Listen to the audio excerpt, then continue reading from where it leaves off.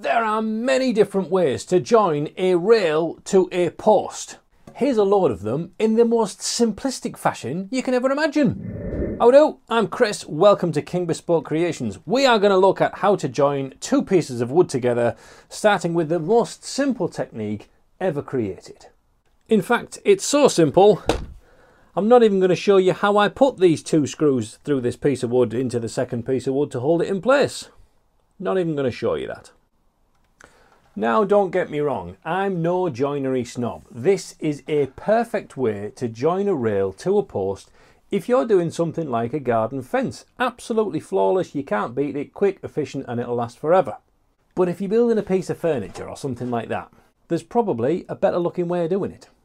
So let's say you were building a freestanding shelf unit or something like that and you wanted a post and you wanted a rail to then put the shelf on top of. Well, it'd be nice if we could recess this piece into this piece. So first thing, put the rail where the post wants to be. Make sure it is nice and square, if square is what you're after. Hold that still, hold that in place. And I would use a knife to just lightly run down each side to mark off exactly where that cut's going to go. Do a few stripes just to make sure that that mark's definitely there and a presto, there's our width that needs cutting. Now to mark off the depth of the cut that we want, you could hold the rail up, but that's a bit long and cumbersome. So this is where one of these comes in. Super useful tool, brilliant for just setting the depth that you want and transferring it across onto the post. Now with the depth marked off with that gauge, I can then come down the sides to match those up.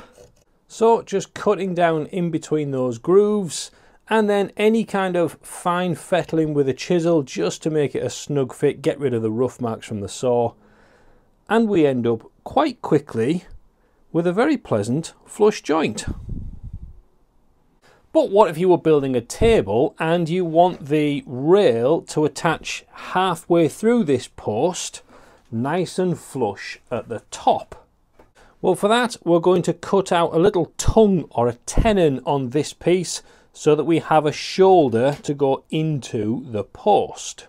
So first we're going to mark off that shoulder. We can make it whatever kind of size you want. Usually an inch or so, an inch and a half will do. And I'm going to score lines on three sides, not all the way around. So we're going to cut this section to be smaller than this section, especially the width of it. Now again, the specific dimensions of the, the width of that tongue and the, the size of the shoulders doesn't really matter a great deal. What I would recommend doing is making that width the same size as one of your chisels because that will make cutting out the corresponding hole in the post much easier later on. And yes, you can just be as simplistic as holding the chisel on and marking it up the sides. So now we just need to remove these three edges. So again, just saw along the lines, chip the chunks off with the chisel. I always like to just take off half the amount each time until you get up to your line. And then where you have your cut line, do make sure you go in and remove that fuzz from the saw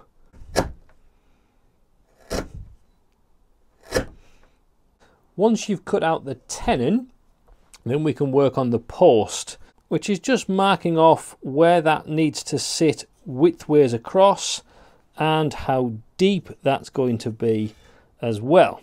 So this is where I have my little width markings here. And what I'm going to do is just set one of those with the marking gauge again. So I'm starting with the side of the chisel along that groove line and I'm just north of that pencil line so I can still see that. And all I'm going to do is just keep nudging up that line all the time keeping the edge of the chisel running along that groove just a few millimeters at a time. You'll gradually get deeper as you go back. Occasionally you can just fold some of that rubbish out and keep going backwards. And when you get to the end, you can just tap that out and it'll stay the same width that you've been digging all the way through. But of course we also need to know how deep that needs to go in. And a neat little trick for that is just to hold the chisel up against that tenon that you've made and just put a little bit of masking tape on and there's your depth gauge. Now we can start heading back towards the pencil line to start emptying out some of those sections and getting closer to depth. And then slot one into the other with a little bit of a wiggle.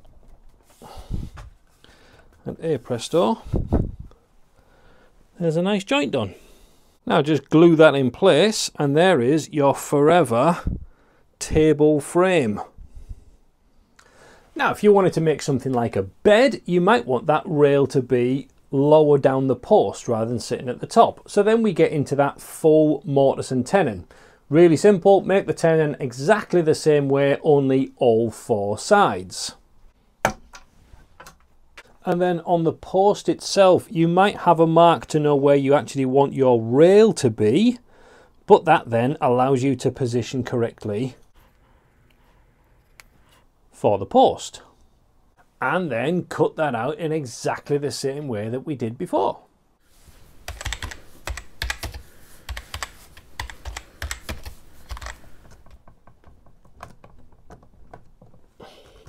Now, with a lot of mortise and tenon joints like that, again, you're just going to glue that up and it's going to be a permanent fix. If you are making something like a bed, something massive, it might want to be dismantled when you need to move it from one room to another perhaps. So how can we fix that in place without using a permanent glue? By simply using some doweling. Now of course what we could do is just go straight through the lot of it with the drill bit and hammer the doweling all the way through. But there's a slightly better way. Remove your rail first, then drill your hole through your post. Once that hole is done, then reinsert the rail. Lightly push the drill bit into the hole to make a little mark on the tenon. And then what we're actually going to do is drill the hole just a few millimeters closer to the shoulder than that lump. Now the reason that we want to do that little offset with the hole is so that when you drive the doweling in, what it's actually going to do is pull the beam in that little bit tighter, creating an even more snugger joint. Now of course once that's in, that's there and permanent until you drill it back out. What I like to do is to cut that off just slightly proud and use a file with a safe edge to just round over those edges just a little bit so that totally becomes a feature rather than something that we want to try and hide. Lovely. Now, the last variation of a mortise and tenon joint that I want to show you today is if you're putting a tenon into a thinner piece of wood rather than a big fat post. For example, at the bottom of a lot of picnic tables, you will see it's a big slab-sided thing and the rail at the bottom goes through and then gets pegged. So make your tenon exactly the same way that we have done before only this time, we're making sure that it's long enough to go through the board and poke out the other side with quite a decent margin. Again, a good inch, inch and a half I think you're going to want. So with the tenon in place, again, I'm going to mark off the edges and the widths.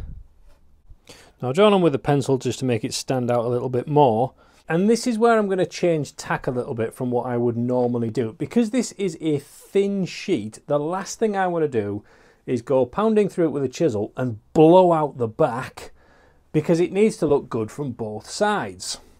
So this is one of the only times that I'll actually use a drill to get rid of most of that internal material. But even then, I'm only going to go slightly in from one side and then mark off with a pre-drill to come in from the other side. Again, to make sure that there's no blowout from one side to another.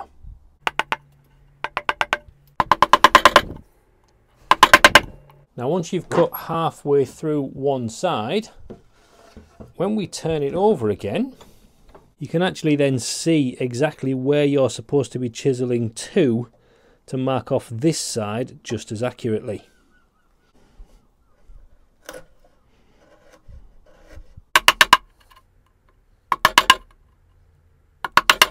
And with that fitting through and correctly in place, I've then got again another piece of doweling with the slightest flattened taper put on it so that when you put that up against there you can mark off the very edge of that hole so that as you bash the peg through, the fatter end should wedge it in place.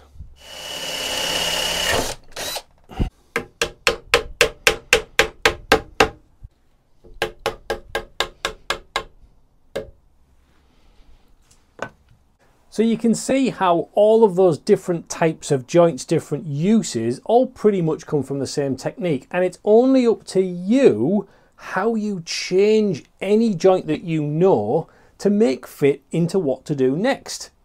Mortise and tenon, half lap joint, pinned, glued, that is all up to you.